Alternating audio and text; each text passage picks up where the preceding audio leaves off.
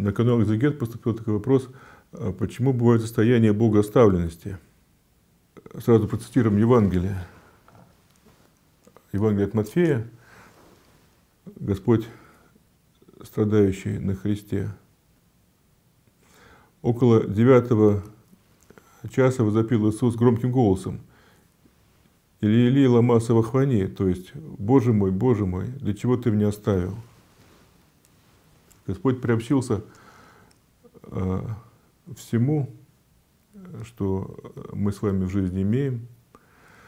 Господь э, принял в себя человеческую плоть и жил как человек, был во всем, как мы, кроме греха. И э, Господь вкусил э, того, что вкушаем и мы с вами время от времени, вот этой богооставленности, которая, к сожалению, бывает с нами. Бывает по разным причинам. Бывает, во-первых, потому что мы несем на себе немощь природного греха. Бывает, потому что мы с вами э, и сами отходим от Бога, и э, испытываем такие безблагодатные трудные состояния.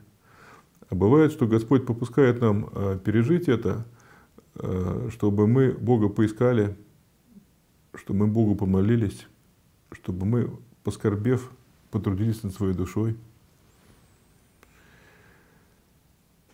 И э, эту богоставленность надо принимать со смирением, понимая, что даже сам Христос перенес это состояние достойно, страдая на кресте, безропотно, а с молитвой к Богу.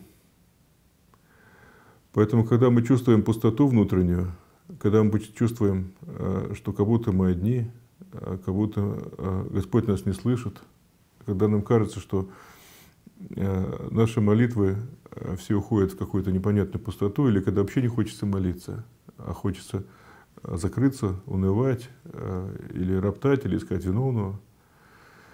Надо поставить себе правильный диагноз, сказать, что мы находимся в особом состоянии, оно безблагодатное оно такое мрачное, такой некий мрак опускается на нас с вами. И э, богоставленность не значит, что Господь стал дальше от нас. Он остается э, рядом.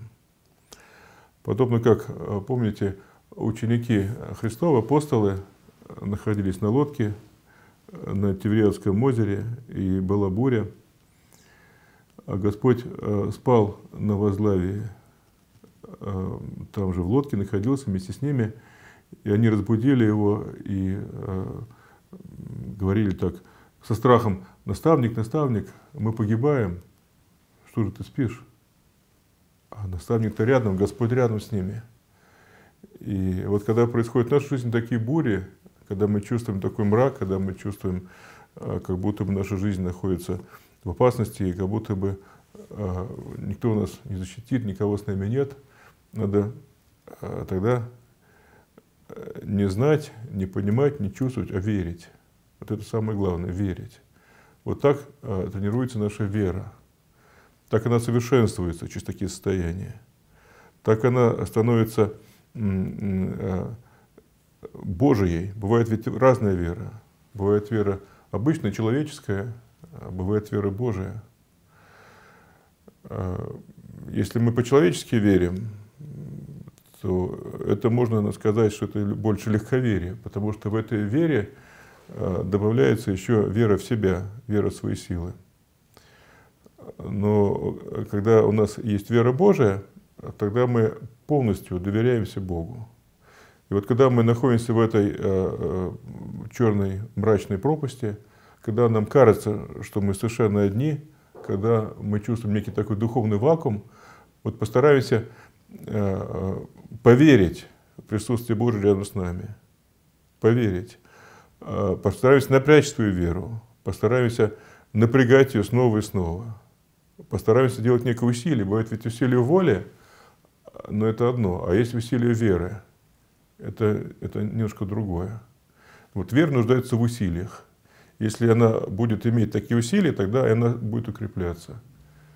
А когда она укрепится, то такие уроки зачастую будут не нужны. Господь нас будет по-другому как-то учить, будет нам помогать, будет рядом с нами.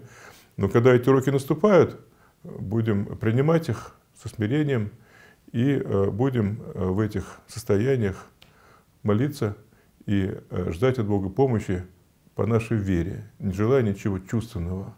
В этом будет малый, но подвиг. Внеси свой вклад, оцени, подпишись и поделись этим видео.